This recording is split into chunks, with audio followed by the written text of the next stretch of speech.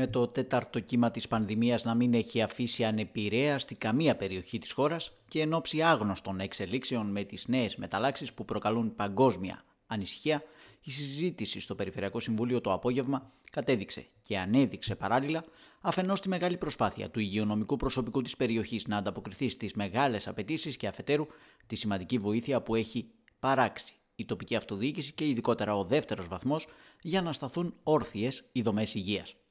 Η συζήτηση έγινε κατόπιν σχετικού αιτήματος της λαϊκής εισπήρωσης, με τον Γιώργο Πρέτζα στην εισήγησή του να τονίζει πως η αντιμετώπιση της πανδημίας στην Ήπειρο ανέδειξε τα χρόνια προβλήματα του συστήματος υγείας, αλλά και την άρνηση της κυβέρνησης να αντιμετωπίσει έστω στο ελάχιστο τα προβλήματα αυτά.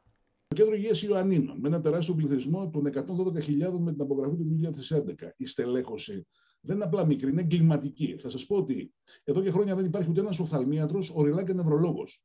Μιλάμε για τον γιατρό των εξωτερικών ιατρίων που θα ψάξει να βρει στην πρωτοβάθμια φροντίδα υγείας κάποιου από τους 110.000 πολίτες. Υπάρχει ένας καρδιολόγος, ουρολόγος, γυναικολόγος, δύο παιδίατροι και δύο ορθοπαιδικοί, τρεις μόλις παθολόγοι.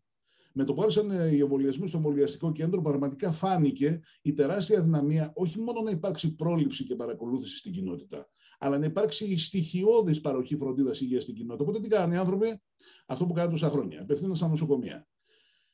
Στα νοσο... Η πρωτοβάθμια φροντίδα υγείας λοιπόν και αγροτικού και αστικού τύπου δεν έδωσε τη δυνατότητα με δραστική ενίσχυσή της. Μάλιστα αποδυναμώθηκε και να αποσυμφορθούν τα νοσοκομεία από την πίεση και τα περιστατικά COVID αλλά και non-COVID να παρακολουθούνται στην κοινότητα.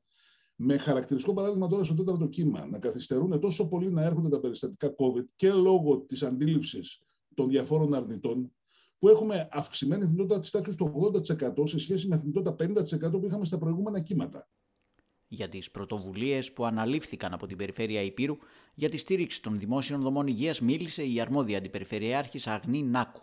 Έφτιαξε και στα δύο νοσοκομεία θαλάμους αρνητικής πίεσης, στις μονάδες λιμωδών, πλήρως εξοπλισμένες. Ε, προμήθευσε με ασθενοφόρα τα κέντρα υγείας και θα έρθουν και άλλα ασθενοφόρα τα, τα οποία έχουν ήδη παραγγελθεί από τον Περιφερειάρχη.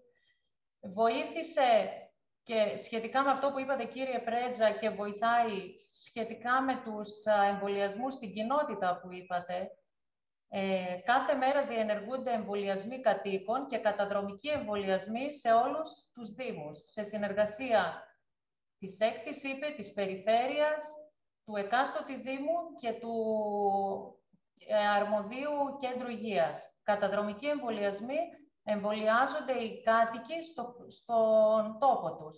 Η Σταυρούλα Τσιάρα με την ιδιότητα και της Προέδρου του Ιατρικού Συλλόγου επισήμανε πως το μεγαλύτερο πρόβλημα ήταν και εξακολουθεί να παραμένει η έλλειψη προσωπικού.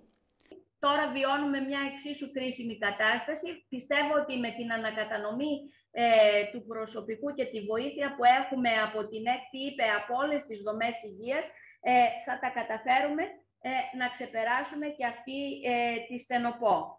Η πρόεδρος της Ένωσης Ιατρών Νοσοκομείων Υπήρου Μαργαρίτα Κιτσανού και ο Διευθυντής της Ιατρικής Υπηρεσίας του Πανεπιστημιακού Νοσοκομείου, καθηγητής κ. Κορομπίλιας, έδωσαν το στίγμα των προσπαθειών αλλά και των σοβαρών προβλημάτων στα νοσοκομεία της Υπήρου και ειδικότερα στο Πανεπιστημιακό Νοσοκομείο. Πάρα πολύ ωραία. Το μετατρέψαμε σε εμβολιαστικό κέντρο, το μετατρέψαμε σε ΕΟΔΗ, στον επάνω όροφο και στο κάτω όροφο γίνεται ε, έλεγχος στα τεστ. Οι πύλες είναι ανοιχτές σε όποιον θέλει να έρχεται, σε όποιον θέλει να μπαίνει, είτε κάνει έλεγχο είτε δεν κάνει. Και εδώ λοιπόν με τα λύπης μου θα καταθέσω ότι υπάρχουν κενές οργανικές θέσεις ειδικευμένων, ειδικευομένων 91. Φτάσαμε λοιπόν όμως στο τέταρτο κύμα, όπου τα πράγματα δυστυχώς για μας και πιθανόν δεν θα πρέπει να αυτοπατώμεθα, θα συνεχίσουν να είναι προβληματικά. Δεν ξέρει κανείς τι θα γίνει στις επόμενες δύο-τρεις μήνες.